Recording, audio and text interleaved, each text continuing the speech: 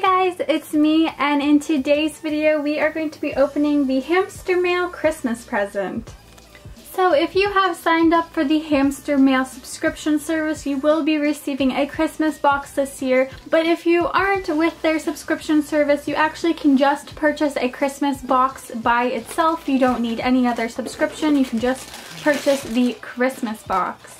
There also is a lot of add-ons that you can add on to your December Christmas box, including gift wrap as shown and a hamster size Santa hat. As well as you can choose larger activity toys and cage accessories. The hamster mail is of course UK based but they do have very very cheap international shipping and it is of course free to the UK.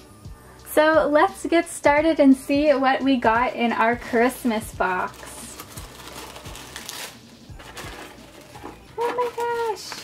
So when I first opened the box, there's a really cute little card. It says, Merry Christmas from Hamster Mail. And right at the front here, it says, Hi Victoria, Tater Tot, Bumble, and Honey. And it just tells me basically what is in this box. So the first thing I see here is the Rosewood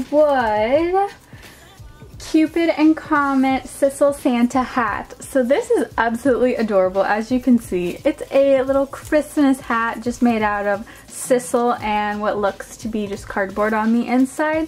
Um, perfect for your hamsters and other small animals to chew on. The next item I see here is by the Healthy Hopper and these are reindeer treats and these consist of dried carrot and parsnip flakes. The next thing that is in our box is the Rosewood Naturals Festive Snap and Share Bar. So this is just a little treat for your hamsters and I think you can snap it like it says into different like sections. And the last thing here is the Rosewood Cupid and Comet Snowman Nibble and Gnaw. So this is absolutely adorable. It's a snowman wooden snowman with a little uh, willow ball in the center.